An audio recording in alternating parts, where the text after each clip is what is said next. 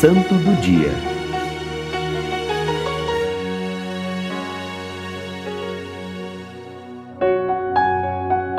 Santa Catarina da Suécia. Santa Catarina nasceu no ano de 1331 na Suécia, em família nobre quanto às riquezas desta terra e em berço cristão de fé viva, pois era filha de Santa Brígida, de quem foi também discípula fiel. A formação recebida desde criança teve bases muito sólidas e foi alicerçada em princípios que a conduziram em caminhos de grande santidade. Desde os sete anos, passou a viver no convento das Irmãs de Risberg as quais deram continuidade ao que ela já vinha aprendendo com sua mãe. Conforme o costume da época, chegada a idade certa, por volta dos 13 anos, Santa Catarina deveria se casar e estava prometida a Edgar, um bom jovem da corte que também tinha o coração muito dedicado na busca de Deus. Porém, Edgar carregava muitas enfermidades Devido a essa realidade, os dois conversaram e, sabendo de um voto de castidade feito por Santa Catarina antes do casamento, Edgar resolve aceitar o voto também. E assim, após o casamento, passam a viver como irmãos. Com o agravamento da doença, o marido fica paralítico e a santa passa a lhe dedicar cuidados ainda mais intensos e com maior amor. Com o passar do tempo, morre o pai de Santa Catarina. Sua mãe, agora viúva, entrega-se totalmente à vida religiosa e resolve fazer uma romaria a Roma para visitar o túmulo dos apóstolos. Edgar permite que a esposa vá ao encontro da mãe em Roma e, na sua ausência, venha a falecer. Agora viúvas, mãe e filha, Santa Brígida e Santa Catarina vestem o hábito de religiosas. Fundam o mosteiro de Vadstena, na Suécia, na Ordem de São Salvador, com regras inspiradas nos moldes místicos de São Bernardo de Claraval. Santa Brígida foi abadesa e as freiras de lá passaram a ser chamadas de Brigidinas. Santa Catarina leva vida austera de mortificações e jejuns. Aparecia-lhe frequentemente uma luz que a envolvia em êxtase. A evangelização feita pelas duas foi intensa. Chegaram a percorrer muitas cidades e até diferentes países, passando por vários perigos dos quais Deus as salvava milagrosamente. Mesmo já tendo assumido a vida religiosa tão prontamente, ainda assim não faltaram na vida de Santa Catarina pretendentes que ousadamente a abordassem, desejando o lugar de seu esposo falecido e lhe propondo um novo casamento.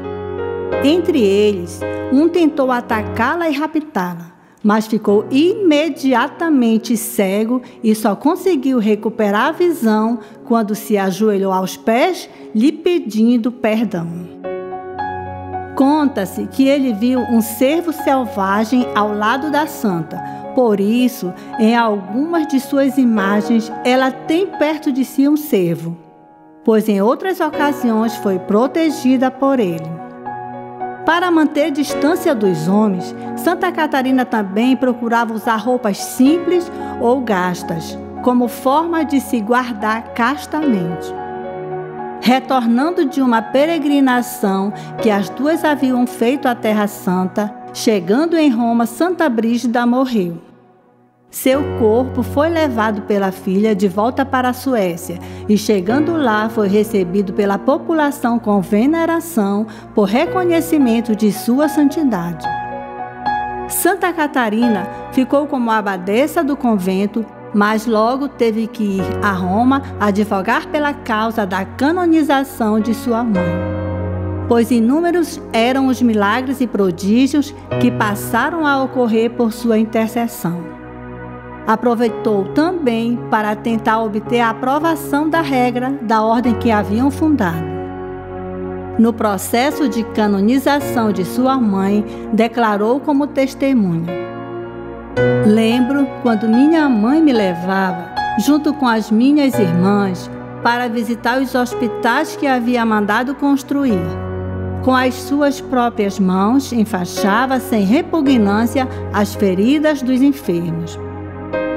Santa Catarina apresentou depoimentos sobre a vida da sua mãe, primeiro a Gregório XI e depois a Urbano VI. Este último aprovou a regra da Ordem Brigidina com a bula datada de 3 de dezembro de 1378. Em Roma ficou por cinco anos, morando em um convento onde foi também um grande testemunho de vida virtuosa. Meditava muitas horas por dia na paixão e morte de Cristo, na oração dos salmos penitenciais e no ofício da Virgem Maria. Voltou para a Suécia com uma doença grave aos 50 anos e em 24 de março de 1381 morreu. Sua canonização foi celebrada em 1484 pelo Papa Inocêncio VIII. Santa Catarina é considerada a padroeira das virgens. Além disso, por sua intercessão, a cidade de Roma ficou livre de uma grande inundação proveniente do rio Tevere. Peçamos que, pela intercessão de Santa Catarina, Deus nos conceda a graça de uma vida de entrega fiel e constante nos bons propósitos e perseverante no serviço a Ele até os últimos dias na terra para que assim possamos receber o prêmio dos bem-aventurados. Rogai por nós a Deus, Santa Catarina da Suécia.